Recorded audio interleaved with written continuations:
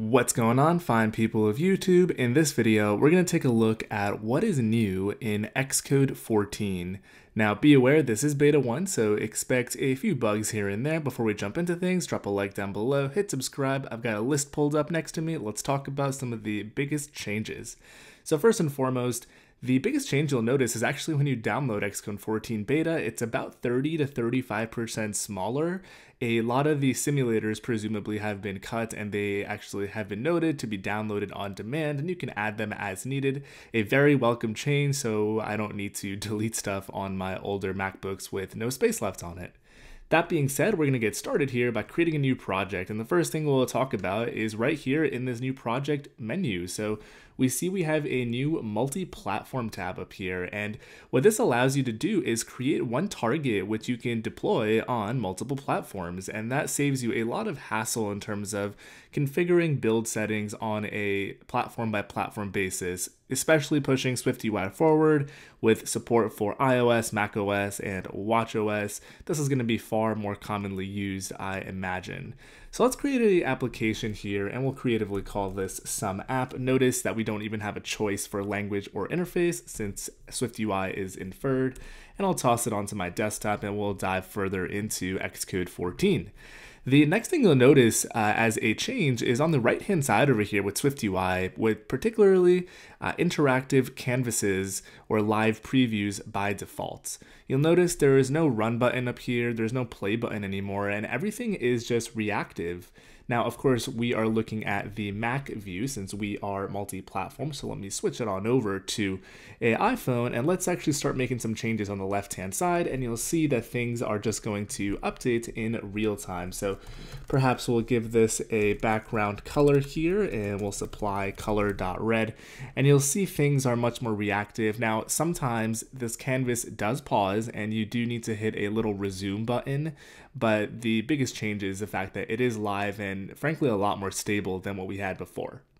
Now, there's actually one other really interesting and important change related to this live preview, and that is being able to see variations side by side. So down here at the bottom left of this canvas area, we can hit this button and we can say we want to see perhaps the color scheme variant side by side.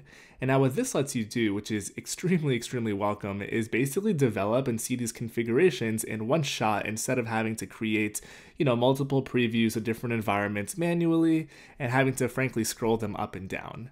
Now, in addition to color scheme, you can also see various orientations as well as my favorite, which is dynamic type, which is one thing that becomes a little difficult to test, especially as you build more and more complex UIs and you want to make sure that your apps are accessible and functional for anyone using them with variety of font sizes.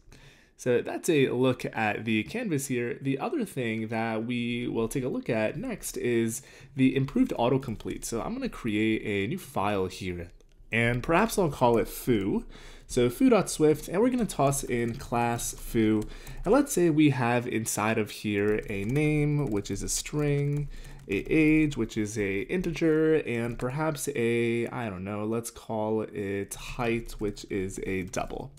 Now you'll notice as we start typing out init for the initializer, autocomplete is far better now in terms of recommending and actually filling out your constructor. Now this is something that I've personally been jealous of uh, other developers for since particularly, uh, you know, uh, IntelliJ Android Studio has had this for a while, but it's definitely, definitely a welcome change for classes uh, here in uh, Xcode. And I believe this applies to structs as well.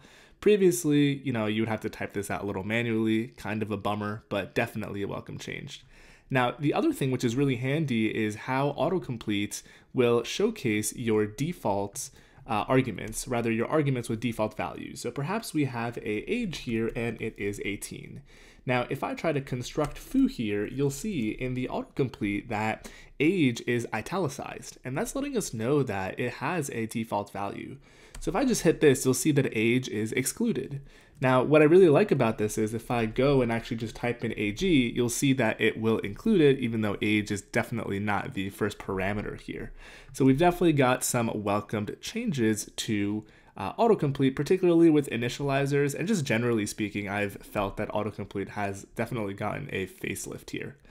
The next thing, which I haven't gotten a chance to explore too far into, but definitely worth calling out, is we now have Swift package plugins. Now, this exposes a API where you can run various jobs on your project, things like formatting or linting, and the docs have noted that you can access it via file package. I don't see it in here, presumably. Uh, I'm either looking in the wrong place or we need to write out a plugin and add a package to get it to show up here. Now, in addition to all of these changes, there's some other aesthetic changes which are a huge welcome. So let's jump back to the content view and let's say we have a function in here that is do something. Now, some functions, even though as developers we want to make everything, you know, nimble and concise, end up looking like this with like a thousand lines in them. And one painful thing is sometimes when you're reading code, especially as you start scrolling super far down, is you start to wonder, am I in the same function still, or have I, you know, bled over to the next thing? Well, no more of that because now when you scroll, whatever you're looking at will be pinned up here. You can see that both for the uh, encapsulating, you know, struct or class or object as well as the function. So as I scroll down here, do something and the content view are pinned, which is definitely a very welcomed change. Now, in addition to, you know, better functionality and what I like to call aesthetic facelifts are we can also now jump to callers more easily.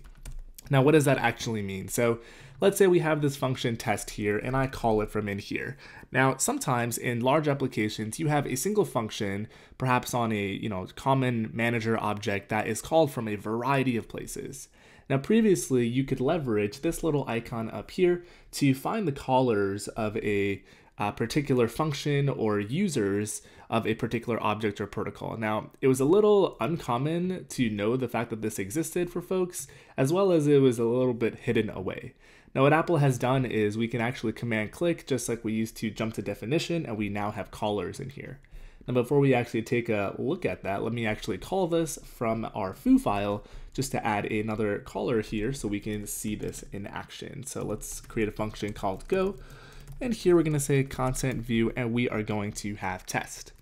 Now I'm also gonna click this and we do have some changes to jump to definition. So if we have definitions in both a uh, you know object like this or conformance via a protocol, the jump to definition also will now show you a better descriptive view of the various definitions so you're not guessing if the definition you're going to is a protocol or the actual instance method but we're talking about callers, so let's take a look at it. So we'll hit this and I will hit callers here and you'll see very clearly that we have two callers. It tells you, you know, both uh, signatures here and it also tells you, of course, the path to look under as well as the line number. So here we have foo.swift on line 24. So let's see, that brings us to the next thing to talk about, which are some welcomed changes to the asset catalog. And I actually accidentally found another change, which might be documented, might not be, but in Asset Catalog, we can now bring in a single image, and if it is 1024 by 1024, Xcode will use single scale to scale it up and down, and no more will we need to bring in or use a generator to create all these variants for our application. Now you'll see that we have a warning here. That's because this is just a screenshot and definitely is not the proper width and height. In the assistant editor over here, you can see that we do use the single size property for iOS and we don't need to, you know, use a generator. All you need to do is have your designer create one 1024 by 1024 and you are set to go. Now, in addition to that, what we can also do is we can copy and paste images into our uh, Xcode uh, slots here. So if I copy this, let's see if this actually works for my desktop. I can click here and hit paste and looks like it doesn't, but from Finder, this actually does work. And I believe this was perhaps documented somewhere, but it's definitely new in Xcode 14 since I did see it somewhere on Twitter. Now, let's see what else we can talk about. Now, build performance is definitely improved. Things are faster, particularly with linking and compiling dependencies for those of you that are into the nitty gritty of build time, performance, and linking. We also have support for regex, regular expressions, directly being checked for correctness and evaluation in the IDE since it is now supported. In addition to that, a more minor change, but definitely welcome, is for our device selector, our target uh, and scheme up here, we will now see recents at the top. We also have, you know, search more prominently displayed up here, but the recents the recently used is definitely uh, a welcome change. So if we deploy off into a particular device or simulators, we won't need to open this and, like myself, have to filter it down every single time, which is definitely nice.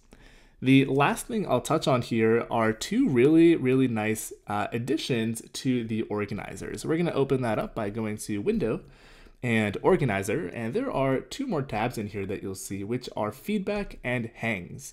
Now, I've got one of my apps selected, which at the moment doesn't have either of these, which I guess is good. For feedback, we'll see test flight feedback directly in here. We'll see screenshots, the tester information. We'll also have a button directly to email that user back if we want to respond to them. And of course, hangs are a really, really critical thing to have available here so we can make sure that we're never blocking that main queue, our app is never dropping frames, and we have a pretty well built application. So those are the main highlights that I so far have been, you know, pretty excited about in Xcode 14 Beta 1. Now there are a bunch more, of course, and I'll be linking the Xcode 14 beta release notes down below. There's also a bunch of fixes and improvements. There are some deprecations as well. For example, no more bitcode supported uh, applications will be accepted to the App Store. The WatchOS project template is now different etc., uh, etc. Et but these are definitely the much more common ones that hopefully the majority will be able to see and take benefit of right away. So that is all I've got for you guys. Let me know what other cool Xcode 14 things you found down below. Of course, keep in mind this is a beta and we'll see improvements over the coming weeks and months. Thanks again for watching. Stay tuned for more dub dub videos. Tweet the video, share with your friends, follow on the socials, hit that like button if you haven't done so already, hit subscribe before clicking away. Thanks for watching. I'll catch you in the next one.